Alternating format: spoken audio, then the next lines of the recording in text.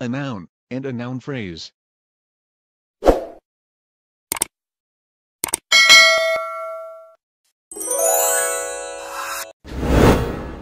A noun is a naming word, as you can see in the presentation, right? Noun is a naming word. It's the name of a person, place, thing, or an idea.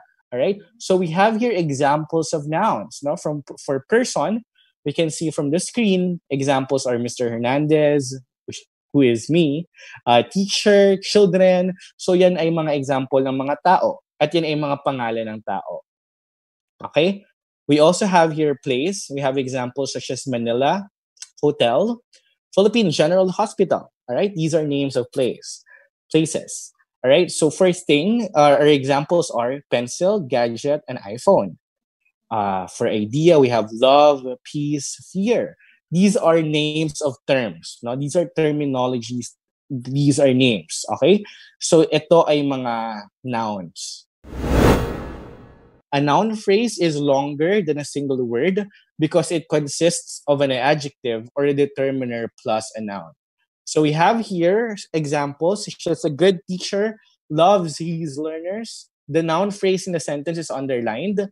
It's a good teacher, no? So may determiner ka na a, meron kang adjective na good attached to the noun which is teacher. All right? So that's an example of a noun phrase kasi noun siya na may kasamang ibang words. Eh, di ba ang phrase ay group of words, no? So it's called a noun phrase. The second is the brave hero.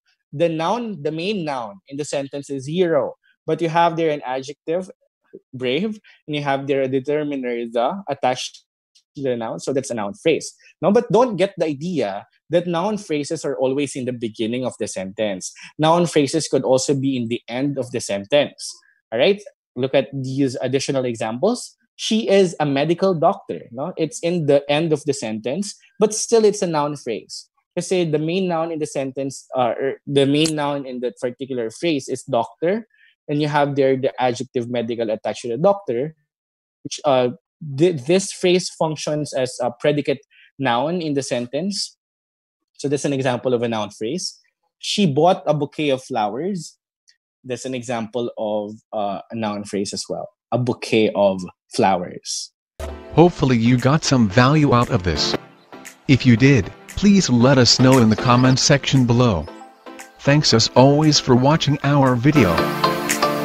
There will always be next lessons to come in the next one. God bless you.